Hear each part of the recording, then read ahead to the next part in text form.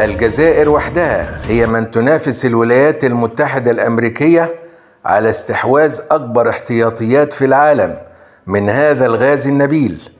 ذو الطيف الواسع من الاستخدامات في العديد من الصناعات الحديثة وهو يمثل أحد أهم الخامات التي لا غنى عنها في كثير من الصناعات العسكرية المتقدمة. فماذا عن هذا الغاز النبيل؟ وما هو حجم احتياطياته في التراب الجزائري؟ والتي تجعل من الجزائر المنافس الوحيد للولايات المتحدة الأمريكية؟ وما هي أبرز استخداماته في مجال الصناعات الحربية الحديثة؟ هيا بنا نكشف التفاصيل.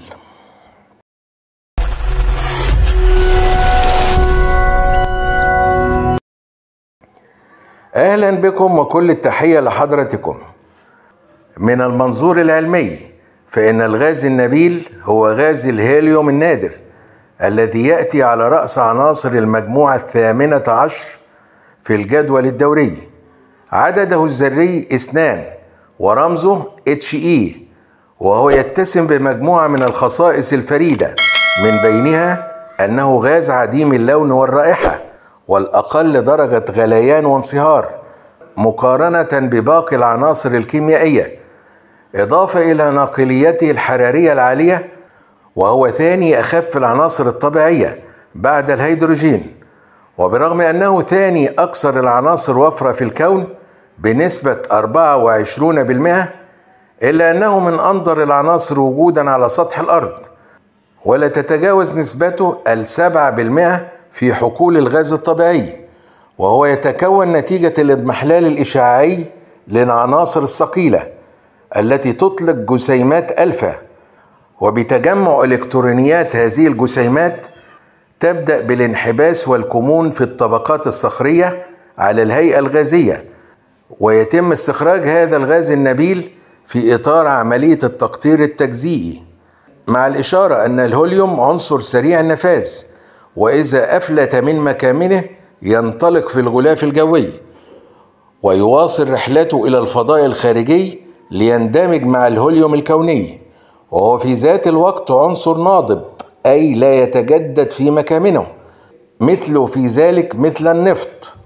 وفي الترتيب العالمي للدول التي ظهرت فيها أكبر الاكتشافات لهذه المادة الاستراتيجية النادرة تأتي الولايات المتحدة الأمريكية في المقدمة باحتياطيات تصل إلى نحو أربعة آلاف مليون متر مكعب تليها الجزائر بنحو 1800 مليونا ثم روسيا ثالثا بنحو 1700 مليونا وتأتي بولندا رابعا باحتياطيات قدرها 33 مليونا. وفي وقت يكتشف المزيد من احتياطيات هذا الغاز النبيل في التراب الجزائري يتراجع المخزون الأمريكي. مع ضرورة الإشارة أن المستهلك السنوي من المخزون الأمريكي يقدر بنحو 120 مليون متر مكعب في مقابل نحو 20 مليونا من المخزون الجزائري. وفي ضوء ذلك صار غير واحد من كبار خبراء الاقتصاد الطاقوي في العالم يرون في الاحتياط الجزائري بديلا عالميا لتزويد الدول المستهلكة بهذه المادة النادرة والتي يتضاعف الطلب عليها بشكل مستمر وذلك لطابعها الاستراتيجي ودخولها في كثير من الصناعات الحربية كما سنبين بعد قليل. وكانت هيئة المراقبة الجيولوجية الأمريكية قد أصدرت تقريرا أشارت فيه إلى وجود احتياطيات معتبرة في الأراضي الجزائرية وبخاصة منطقة حاس الرمل في صحراء الجزائر والتي تصنف باعتبارها أحد أكبر حقول الهوليوم في العالم. جدير بالإشارة أن هوليوم الجزائر يتم استخراجه بواسطة تجمعين كبيرين. الأول هو تجمع هيليوس القائم على أساس شراكة بين سونوتراك الوطنية التي تمتلك 51% من الأسهم ومجموعة هيلاباس التي تعود ملكيتها لمؤسستين عالميتين الأولى أمريكية وهي مؤسسة إير بروداكتس والأخرى فرنسية وهي إير ليكيد. ويتركز نشاط هذا التجمع في منطقة أرزيو والتجمع الثاني هو تجمع هيليسون بروداكشن الذي تشكل بتعاون بين السوناطراك الجزائرية وليند الألمانية. ويتركز نشاط هذا التجمع في قاعدة سكيكدا الصناعية الغازية ومعظم الإنتاج يتم تصديره إلى دول الاتحاد الأوروبي وبالأخص فرنسا التي تستحوذ على 85% من إجمالي صادرات الهوليوم الجزائري. والسؤال الذي يطرح نفسه لماذا تتصارع الدول المتفوقة عسكريا للحصول على هذا الغاز النبيل؟ وما هي أبرز الصناعات العسكرية المتقدمة التي تعتمد عليه؟ لقد كشفت عدة تقارير حديثة أن غاز الهوليوم النادر صار يصنف باعتباره المادة الاستراتيجية التي تتسابق عليها الدول الصناعية الكبرى وبخاصة الدول التي تبحث عن التفوق العسكري للأسباب التالية. عرفت أهميته في الصناعات العسكرية منذ الحرب العالمية الأولى حين كانت تعبأ به المناطيد المشاركة في الحرب. والتي كان أول إطلاق لها من قاعدة بولينغفيلد العسكرية في واشنطن وتواصل استخدامها في الحرب العالمية الثانية وما زالت بعض الجيوش تستخدمها إلى الآن بعد إدخال المزيد من التطوير عليها. ويستخدم الهيليوم في صناعة أجهزة كشف التسريبات الناجمة عن عمليات الانتشار الغازي أثناء تخصيب اليورانيوم وتصنيع القنبلة الذرية. ويعتمد عليه للحماية والوقاية عند إجراء عمليات اللحام القوسي وأثناء تصنيع رقائق السيليكون والجيرامينيوم وكذا عند تحضير التيتانيوم والزيركينيوم للصناعات الحربية المتقدمة.